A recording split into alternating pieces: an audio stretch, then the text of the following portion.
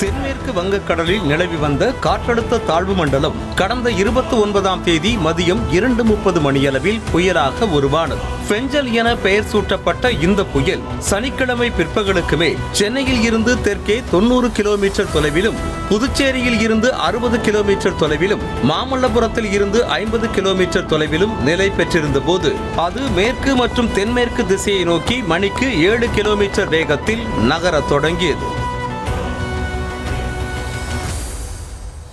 காரைக்காலுக்கும் மாமல்லபுரத்திற்கும் இடையே பெஞ்சல் புயல் கரையை கடக்கும் என எதிர்பார்க்கப்பட்ட நிலையில் சனிக்கிழமை மாலை ஐந்து முப்பது மணியளவில் புதுச்சேரிக்கும் மரக்காணத்திற்கும் இடையில் கரையை கடக்க தொடங்கியது. மணிக்கு பத்து கிலோமீட்டர் வேகத்தில் பெஞ்சல் புயல் கரையை கடக்க தொடங்கியதை அடுத்து புதுச்சேரி பகுதியில் மணிக்கு தொண்ணூறு கிலோமீட்டர் வேகத்தில் சூறைக்காற்றுடன் கூடிய அதி கனமழை வெளுத்து வாங்கியது.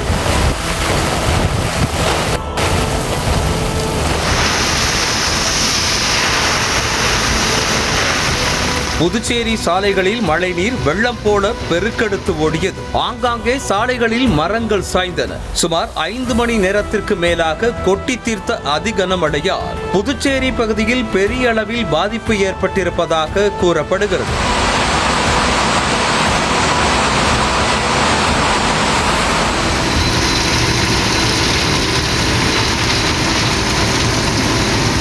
பெஞ்சல் புயல் கரையை கடந்தபோது மாமல்லபுரம் மரக்காணம் உட்பட கிழக்கு கடற்கரை சாலைகளில் பலத்த காற்று வீசியது. கடற்கரையில் கடல் அலைகள் கடும் சீற்றத்துடன் காணப்பட்டன.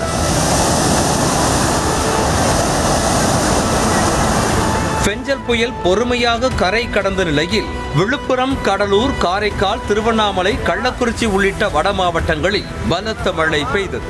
மாலை ஐந்து முப்பது மணியளவில் கரை கடக்க தொடங்கிய பெஞ்சல் புயல் இரவு பதினொன்று முப்பது மணியளவில் முழுவதுமாக கரை கடந்தது.